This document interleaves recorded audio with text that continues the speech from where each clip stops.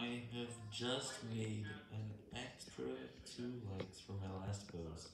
This is due to more people able to like my post whenever I take a little break between the posts. I'm gonna make at least 50 posts a day that mention channels with no subscriber count because I need to mention a ton of those before it's gone.